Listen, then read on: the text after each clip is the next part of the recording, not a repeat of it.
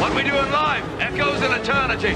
Gladiator is the number one movie in America. Time magazine says Gladiator is big, daring entertainment. A hero will rise, and his name is Russell Crowe. Gladiator, rated R, now playing everywhere.